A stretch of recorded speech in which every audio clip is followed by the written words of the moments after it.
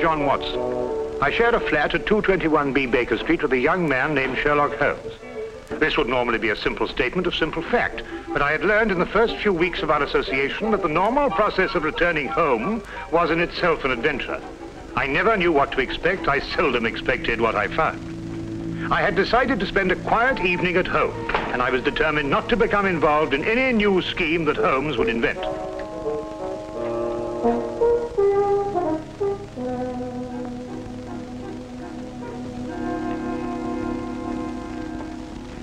Sulfate gas. Oh? Do you remember the Dietrich case, when the defense tried to prove that no one could produce a deadly poison without a trained chemist? No. Well, I'm going to try it now. With kitchen utensils and a secondary school chemistry book. I knew it could be done. There it is, Watson. Brilliant. Now you've done.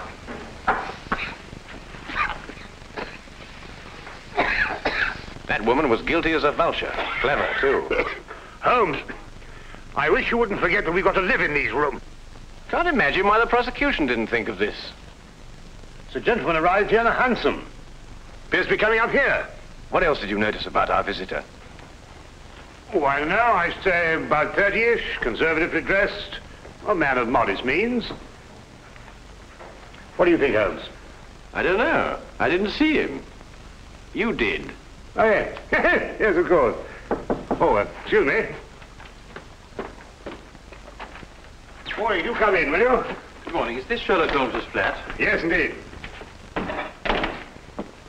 Oh, sulfate gas. Oh. Mr. Holmes has been experimenting. That's Mr. Holmes. How do you do, Mr. Holmes? How do you do? I must apologize for calling upon you without an appointment, Mr. Holmes, but uh, it is urgent. May I present my friend and colleague, uh, Dr. Watson? How do you do? How do you do? Now then, Mr. Winthrop. Mr. Harvey Winthrop, isn't it? Have we met before, sir? No, but you mustn't underestimate your reputation. Won't you come in? And sit down. Thank you. Over there.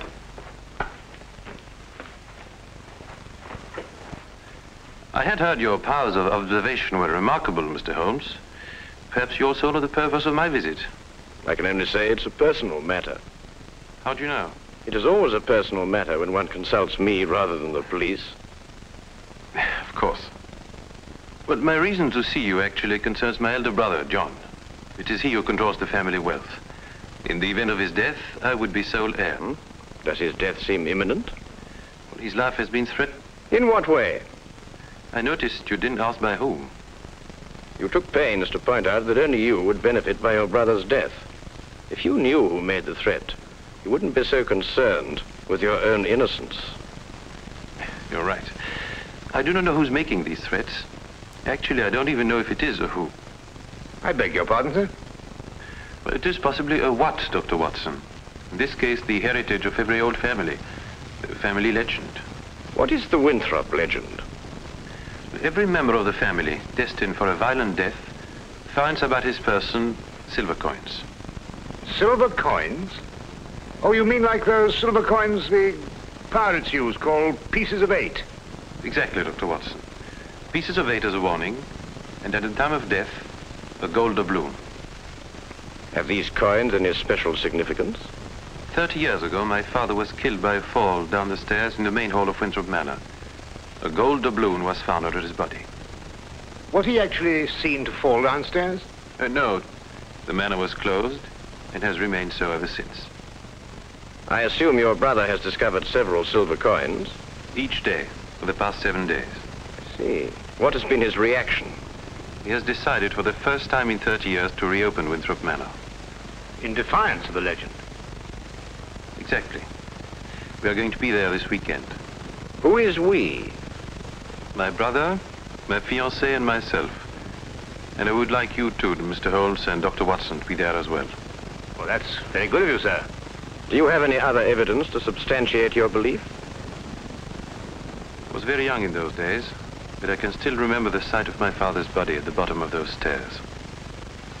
Dr. Watson and I will arrive at Winthrop Manor this Friday night. Oh, thank you very much. If there's anything I can do until then, or if there's any question you want to ask me before, please don't hesitate to call upon me at any time. We'll do that. Thank you.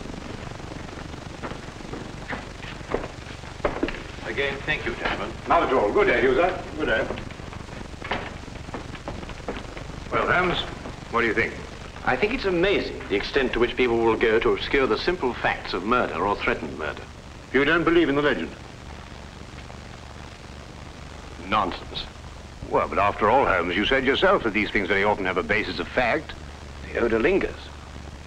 There was no mention of that in the Dietrich's case. I'm a man of science myself, Holmes, you know that. And yet there are things that happen every day for which they have no logical explanation. How would Mrs. Dietrichs have removed the odor? Of course, it could work equally well both ways. Winthrop himself admitted that in the event of his brother's death, he was the heir to the estate. His visit here might have been a blind. The solution of a murder, Watson, is infinitely easier than the prevention. We have committed ourselves to a weekend in a drafty manor house that has been closed for 30 years. We will watch and we will wait. And in time, we will apprehend the person, persons or ghosts, who will commit the murder of the Winthrop legend.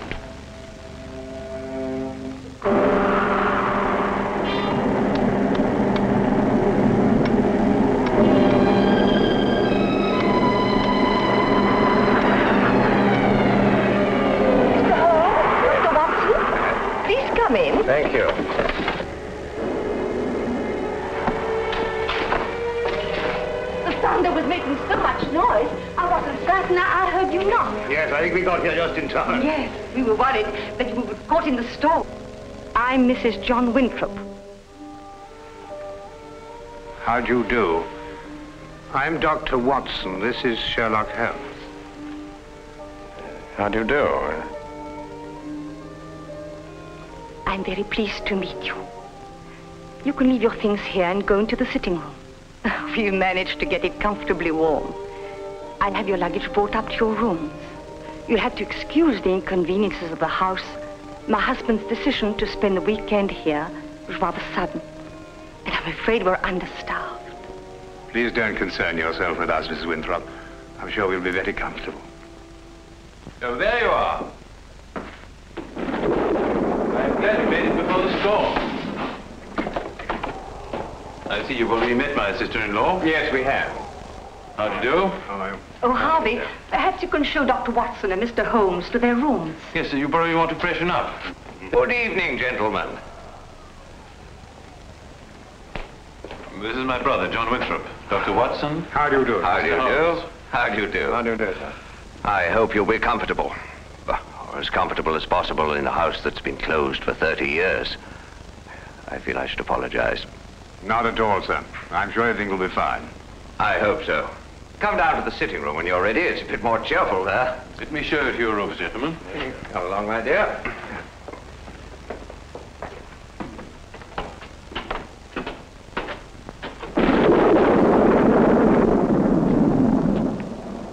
You didn't mention your brother was married. Didn't I? I thought I had. Then surely she would be the heir to the estate if anything should happen to your brother. No, the estate upon his death goes to the next male member of the family. Oh, I see. How did Mrs. Winthrop lose her sight? Uh, it was a riding accident, shortly after they were married. My sister-in-law is a remarkable woman, Mr. Holmes. She took to her new way of living with uh, cheerfulness and uh, thoroughness.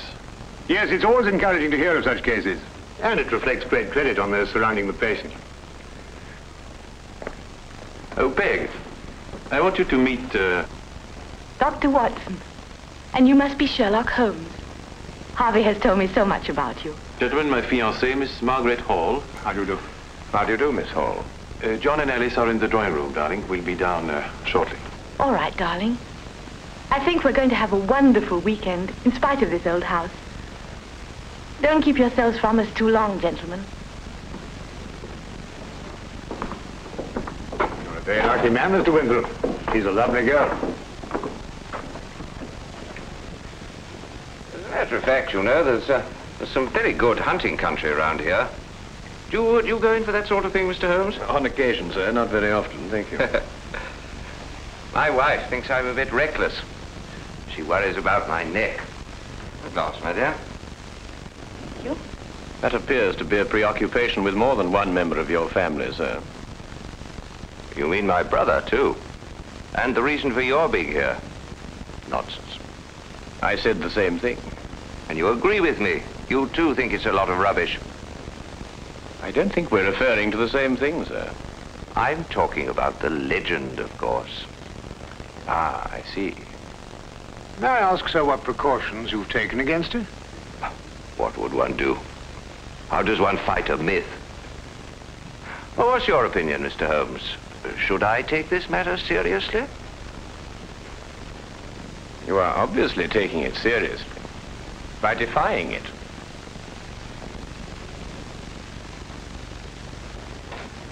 By coming down here to prove that it doesn't exist.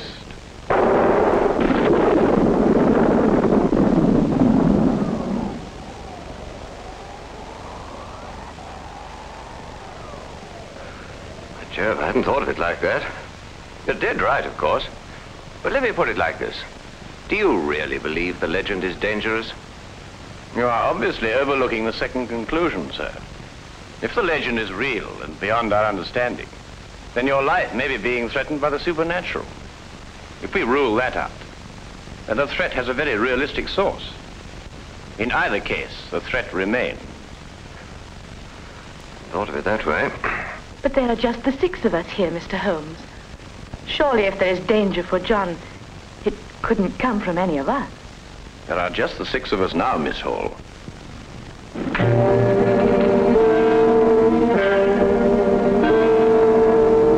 But now there are seven.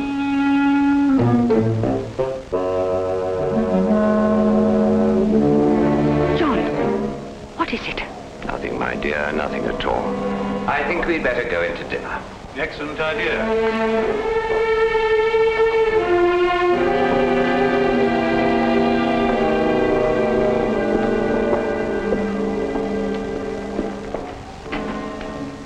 I don't like it, Holmes. Neither do I, Watson. Neither do I.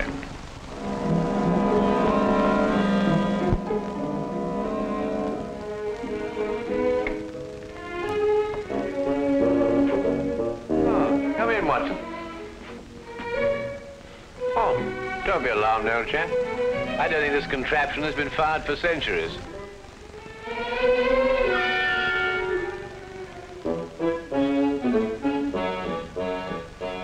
Could hardly expect me to know that from here, Holmes.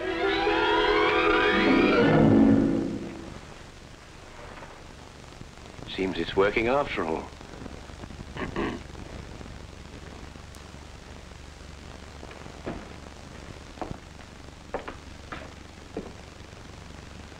I wanted to talk to you about that dinner we just had. Oh, yes, yes. Excellent stuff, don't you agree? Well, it was better than the conversation, or lack of conversation, I grant you. Well, quite natural under the circumstances. Everyone's suspecting things they'd rather not say. What do you make of it, Holmes? Did you realize that young Harvey Winthrop was in love with Alice before she married his brother? Holmes, you're fantastic. How did you determine that? He told me. Oh. Oh, uh, have you got a match, Watson? Yes, I think I should have.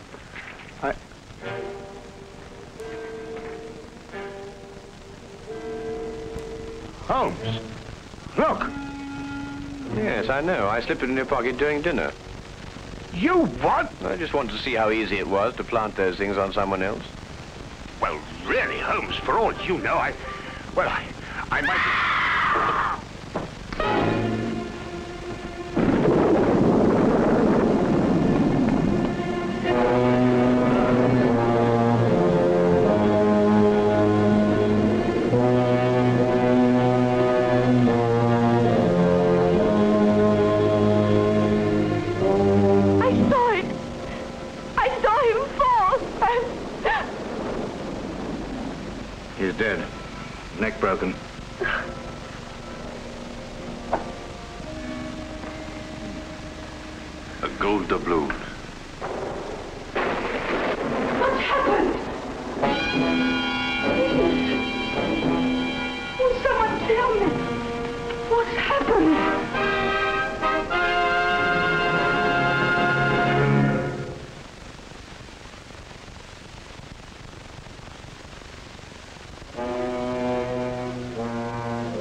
And now, we return to the case of the Winthrop legend.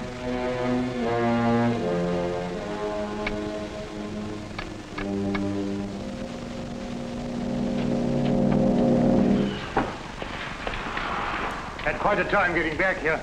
The roads are turning bad. Um, Harvey Winthrop. Uh, good evening, sir. Could you get everybody together and see if we can try and get this thing sorted out? Uh, where's the body? Over there. Broken neck. Died instantly. What do you say? You up there? Oh, good evening, Constable. That is Mr. Holmes. I've spoken to you about him. Oh, yes. Good evening to you, Mr. Holmes. Glad to have you on this case.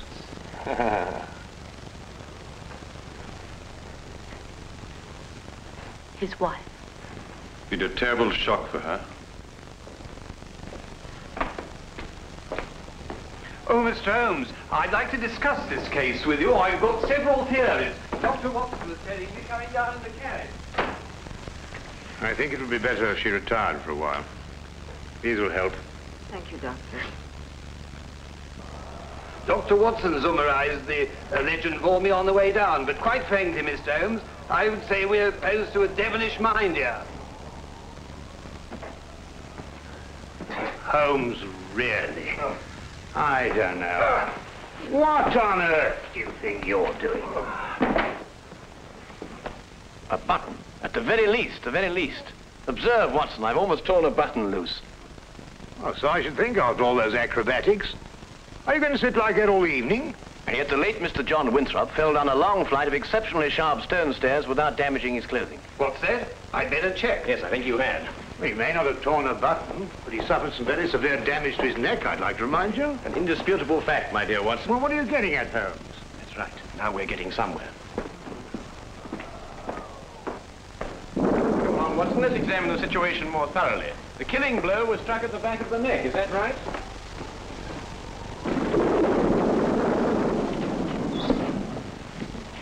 It was. He must have struck the edge of the stairs. He fell. Stone. Edge is quite sharp. The wound be deeper, more pronounced, Watson? Would you re-examine the injuries like a good fellow? Mm-hmm. Well, the skin's broken, but not unusually so. Still, it's difficult to know the position of the body when he fell. I agree with Mr. Jones. Winthrop and the blind woman were at the top of the stairs when he fell. And in a position to have pushed him down. Right. You then imply that Miss Hall, being downstairs all the time, may be ruled out as a suspect. Well, I should take that as a prima facie proof of her innocence. You really think so, Watson? Hmm? What's that? Who are you accusing, Mr. Holmes? Your fiancée. Holmes? You're insane. Not at all, I assure you. Your brother didn't fall down these stairs. He was killed, struck by a blow from behind, very probably in this room. His body was then placed at the foot of the stairs, and the legend having been carefully reawakened, and the manner in which your father met his death, and the gold doubloon, all led you to the obvious conclusion. She couldn't have done it. I assure you she could. But Holmes, she had no motive. The estate now passes to Harvey Winthrop. Well, yes, I'm the only one who had a motive. I would say you and the lady you are going to marry. Are you going to report her to the police? Less than useless, I'm afraid. No court in this world would ever convict her on the evidence we have. Well, assuming you're right, and mind you, to me, it's only an assumption, there's nothing we can do. Yes, there is. We can at least remove the assumption. Come with me, gentlemen, into the drawing room.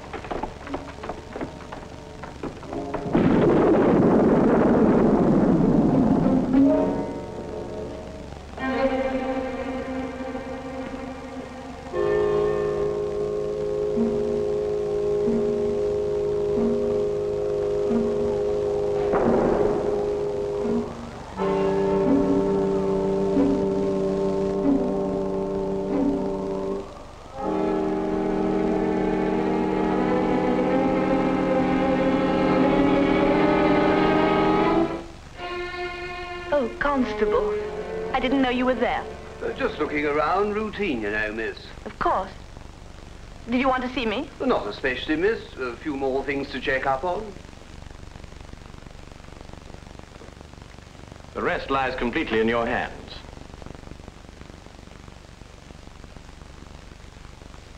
Alice is resting now. Not sleeping, but... Oh, this whole thing is horrible.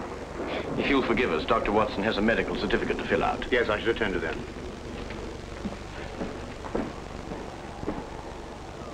Oh, Mr. Holmes. At your service, my good constable.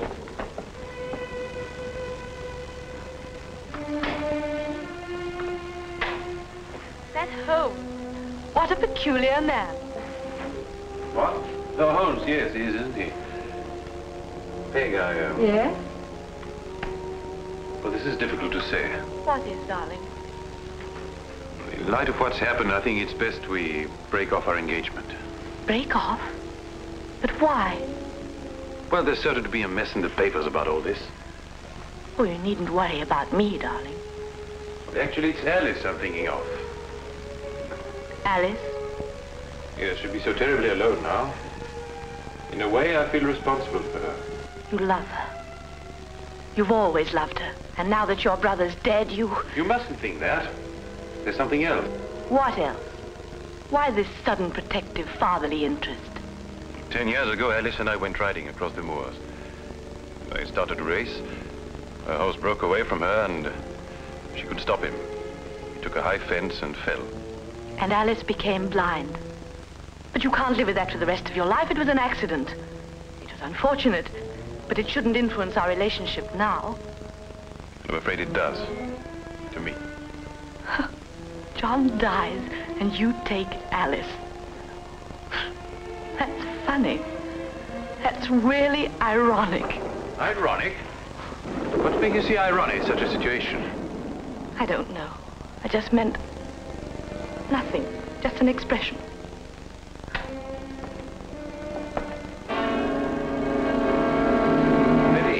Choice of words, I might add.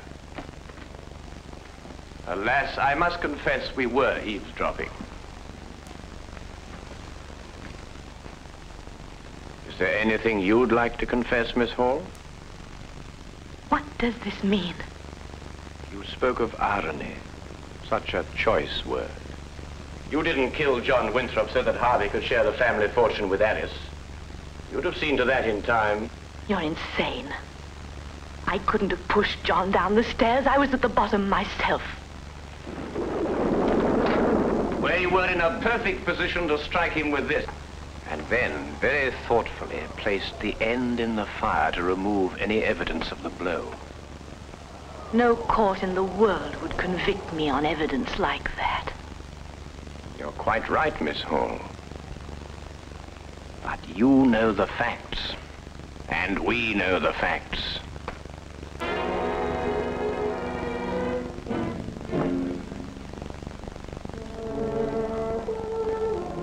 Surely, Holmes, something can be done. I don't think so, Watson. The young lady used her wits and an ancient legend. And a murderess walks free.